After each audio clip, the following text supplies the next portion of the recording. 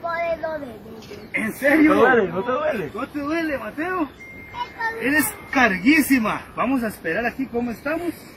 Ujú. Déjelo ahí, mi amor, quieto. Vamos a revisarte el corazoncito, Mateo. ¡Ay, Oiga. corazón! Vamos a revisar el corazoncito, Corazón. Mateo. Una llamada el jueves por la tarde cambió la vida de Graving Lobo. La muerte de la mamá de su hijo y la desaparición de Mateo de 6 años fueron dos noticias duras en cuestión de segundos. Ahí comenzaron horas que se hicieron eternas. Fue complicado ayer, a mí me llamaron ayer como a las 4 de la tarde que, la, que había un accidente y que no, no, lamentablemente la mamá de mi hijo había fallecido, pero que no teníamos paradero de- de- del bebé. Yo me vine de una vez del trabajo para acá, eh, aproximadamente como a las 11 de la noche yo llegué ahí y estaba la, gente del, lugar y estaba la gente de bomberos, la Cruz Roja, y lo que me decían es que el bebé no aparecía. Luego yo llegué y, con ayuda de la Cruz Roja bajamos hasta donde estaba el, vehículo y empezamos a buscarlo por todo lado. La verdad que fue toda la noche eh, tratando de localizarlo.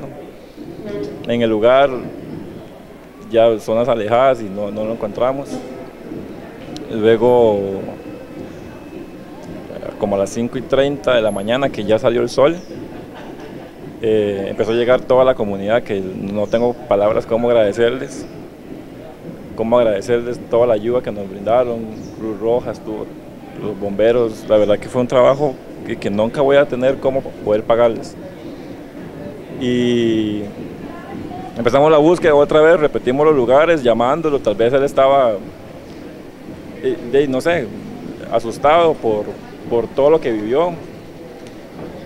Cuando nosotros salimos ya de la parte donde estaba el carro de nuevo y subimos a la carretera, eh, empecé a ver toda la gente de bomberos correr y fue cuando me dijeron que, que lo habían encontrado.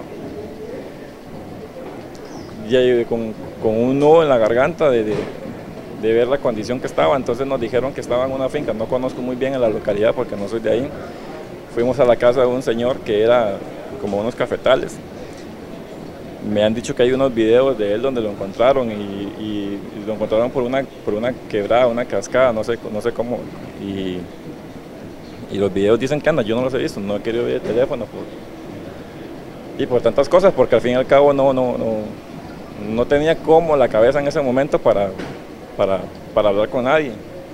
Pues con mis familiares más cercanos sí, obviamente, pero cuando en eso yo llego con los muchachos de bomberos y me dicen que, que, lo encontraron, que está bien y me lo ponen al teléfono. Entonces lo que me dice él, que, que, que, que está asustado, que, que está solito. No tengo palabras, no tengo palabras para el momento pues, que, que, que sentí donde recuperé a mi hijo.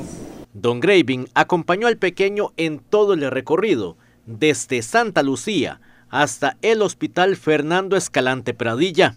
mi hijo volvió a nacer para mí, porque yo, cuando yo llego, al- cuando yo llego al lugar y encuentro las condiciones en que está en el carro, Yendri, que es la mamá de él, eh, me cuentan que la encuentran en una condición muy, de, no sé, la encuentran mal, fallece.